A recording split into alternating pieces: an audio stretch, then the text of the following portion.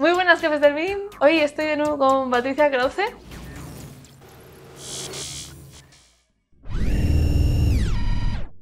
Ya que estamos lanzando Reviticidad esta semana, pues quería un poco contarte cómo fue el proceso de, conocer a Patricia y por qué decidí al final cogerte a ti para hacer esto. Yo siempre quiero trabajar con gente que se esté pegando con esto todos los días.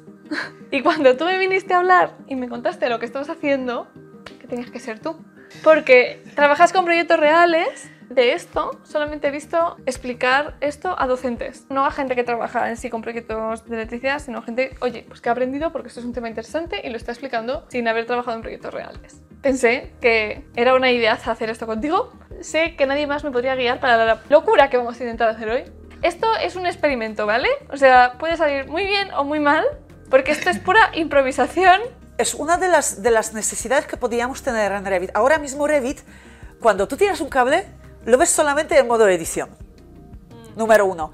Pero luego este cable no tiene ningún tipo de asociación con su entorno, porque claro, no tiene una geometría. Y lo estuve hablando con Luisa, y si pudiéramos asociar el cable de modo edición a una geometría de una bandeja, sería genial. Es un poco locura. Si nos sale ¡Yupi! ¡Vamos! Pero no entiendo muy bien qué quieres hacer. Este es el proyecto eléctrico, ¿vale? Para los que sean nuevos como yo viendo esto. Aquí tengo la bandeja y dentro, en teoría, tengo los cables. Y entonces lo que tengo que intentar, ¿qué es? ¿Pasar la información de los cables a la bandeja o qué? Sí, yo tengo trazada una bandeja. Aquí, en System Browser, el 1, hay un cuadro que está aquí.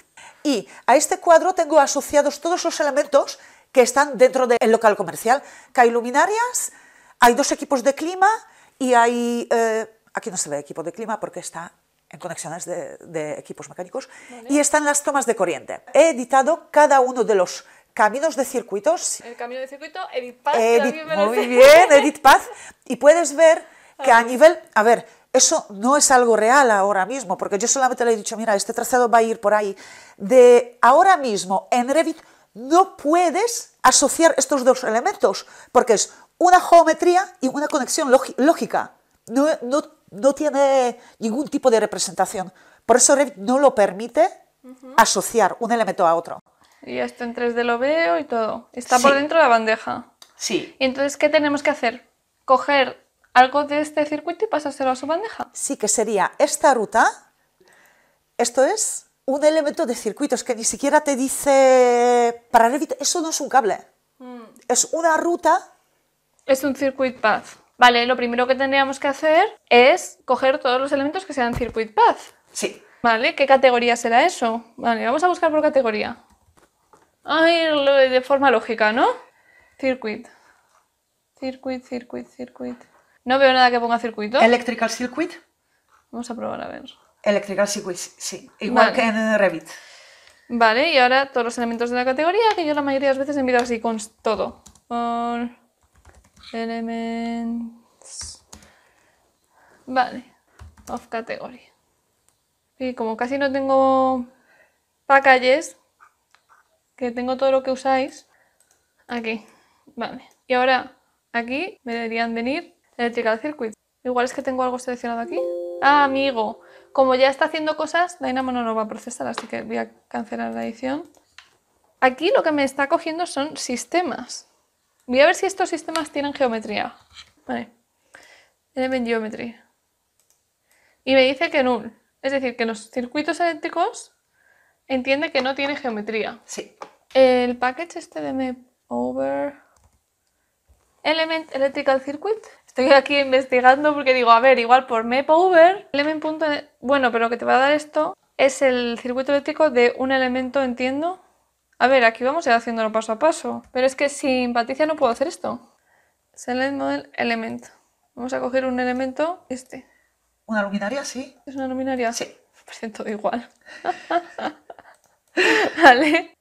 voy a ejecutar y a ver qué hace esto. Electrical System me coge también el sistema. Así que yo entiendo que el circuito es parte simplemente de un electrical system y que no tiene geometría de ningún tipo. Sí. Vamos a preguntar a Google. Electrical System Geometry Dynamo. No, porque esto es creación de cables. Sí, pero Esto no te sirve, ¿no? eh, no, porque supongo que tenía unos circuitos que se desconectaron de un cuadro, por eso le puso un sin nombre. Revit API. Vale, vamos a ver si hay algún sistema en la API para coger el camino del circuito. Circuit Path. Vale, esto es de la 2020. Vamos a ir a 2019, que es donde estamos trabajando, y vamos a poner Circuit Path. Vale, entonces aquí tenemos un montón de cosas de Circuit Path. Es como una propiedad. Circuit Path Mode. Offset. Esto es lo más cercano, ¿no? Mi, mi, mi. Circuit Path Mode. As Electrical Path Mode. Circuit Path Mode. Get. Esta es una propiedad, ¿vale? Pero ya sabemos lo que tenemos que buscar. Entonces vamos a buscar esto. Esto te Eh, suena más, ¿no? Sí. Pero aún así me parece impresionante. Por eso me he juntado con quien sabía que me tenía que juntar para conseguirlo. A ver si es verdad. A ver, aquí parece que hay alguien que ha hecho algo en Circuit Path. Get Circuit Path. Vale, vamos a probar este de 3 Point Square. Lo que pasa que me da a mí la sensación de que este no ha metido nada en el código, solamente nos ha dado como la definición, pero no nos está dando todo lo que hace falta para llamar a todos estos elementos. Sí. Pero yo de momento, vale, tengo esto abierto y me voy a, me voy a pulir código de Python de otro. Voy a coger todo esto. Parece que solamente hace falta esto. Esto es lo típico del código de Python que te viene por defecto. Vamos a ver si no hace falta nada más. Y le voy a pegar aquí el código. A ver, esto no es una cosa que vayamos a hacer en 20 minutos. Y hacerlo con las piernas, con una sensación de calambre en el culo. ¿Te molestó? Ah, ¿Me no. quita un poco? No, es que no puedo más. Mis pies están durmiéndose. Ya, siento las piernas. Siento las piernas. Entonces, en teoría, desde los Electrical Circuits, que es lo que hemos sacado antes. No, antes hemos sacado los Electrical Systems. Vamos a mirar un segundo un elemento y vamos a ver qué tiene, ¿vale? En plan, voy a coger el 1, el, el i0, eh, y vamos a ver element.parameters. A ver qué narices es esto, a ver si te suenan. Parameters. Element parameters. Pink. Esto es el circuito. Este es el circuito. Sí, porque mira, tiene carga aparente, eh, por fases, el número de conductores, frame, sí. Y esto es apparent eh, overload classification, es el nombre del circuito. Vale, pues cuando ejecuto esto, me dice, me da un error y me dice expected an indented block, que significa que hay algún punto en el que no está bien escrito esto. Y es verdad que no está bien escrito. Esto. Piquiti, piquiti. Esto ya sí está bien escrito. A ver si ahora se ejecuta. Iteration over non-sequence of type electrical system. Claro que no es una secuencia, le he metido uno. Está, está diciendo, me estás iterando solamente por un elemento. Tienes que meter más de un elemento. Metiendo en una lista. ¿Qué es esto? Estos son coordenadas. Estos son las coordenadas de los ¡Ostras! circuitos. Bien, bien, bien, empezamos bien. Si ya tenemos. Pero hemos obtenido coordenadas de circuit path. Sí. Vale, estas son las coordenadas de los circuitos que no es nuestro, que lo hemos buscado, ¿vale? Que lo ha hecho una persona que se llama Three Point Square y lo ha dejado aquí para entender que le tienes que meter ahí los circuitos, pues hemos tardado un rato. Pero ya tenemos aquí los, los puntos por donde pasa. Entiendo que estos son las coordenadas y que podemos convertirlo en puntos X y Z. O sea, lo único que tendríamos ahora que convertir esto en puntos X y Z para generar las líneas. Sí, pero primero también tenemos que filtrarlo un poco. Porque yo solamente de momento quiero que, que lea los electrical systems, los circuitos, que leas solamente en el cuadro que se llama CSLC. Vale, y esa información del cuadro lo tiene el circuito. Yo me voy aquí al circuito donde es El, el de arriba. Esto es este Sí. y tiene ahí Panel. panel en un parámetro, pues eso, con get parameter. Venga, vamos a por ello. Esto con get parameter by name estaba por ahí abajo. Es que tengo demasiados pacalles ahora mismo aquí. Usáis todo. Todo lo que está a vuestra disposición. La gente de Namalaika Pro lo usa. ¿Y cómo se llama? Panel. Panel name con mayúscula. Panel name. No existe panel name. Y aquí estábamos viendo que sí, ¿no? Sí, a lo mejor el name es con minúscula. No, se llama panel. Vale, ¿y entonces cuál queremos? Local LC. Confirmar que efectivamente Revit tiene siete circuitos. ¿Cómo? De local LC. Aquí. Sí, LC Bueno, siete índices, que ya sabes que aquí De se cero cuenta de a 0 a siete, 7. ocho. O sea que te coincide, ¿no? Sí. Vale. Pues estos serían los puntos de esos 8. Pero claro, lo que nos dan son las coordenadas estas. A ver. Pi. Unas coordenadas que no sé de dónde coño salen. No pasa nada. Lo que yo entiendo, lo que haría sería dividir estas coordenadas en x y z para hacer los puntos y rehacer el camino. ¿Tiene sentido? Sí, podemos intentarlo. Vale, pues venga, vamos a trocear esto. String.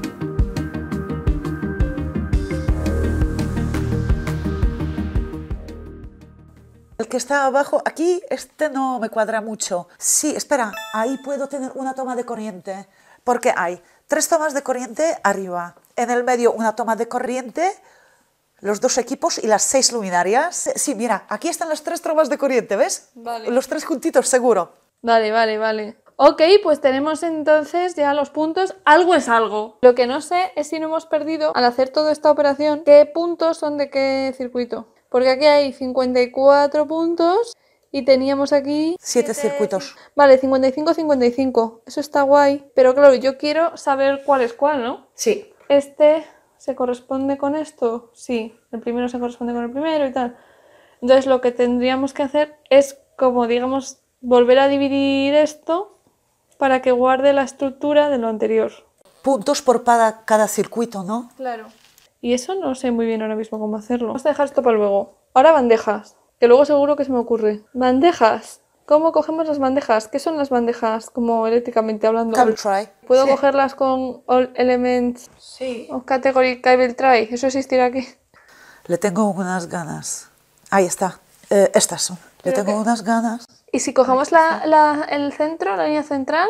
No, no me deja. Habría sido bonito. Eh, No tiene geometría. ¿El Cable Tray tampoco tiene geometría? Sí, sí, que le parió. sí. Esto sí, la línea central no tiene geometría. Digo, joder, aquí nadie tiene geometría, pero ¿qué han hecho en Mail programando en Revit? Casi lo único que tiene geometría en electricidad. así que- Get Geometry. Mira, los sólidos, ¿dónde están? No coinciden con lo otro. Esta es nuestra bandeja. ¿Y los puntos están a- con chinchina? ¿Por qué? Los puntos en parla. Pues porque puede que los puntos tengan unas coordenadas relativas con algo. Estos puntos están trabajando con unas coordenadas que no son las mismas que estos.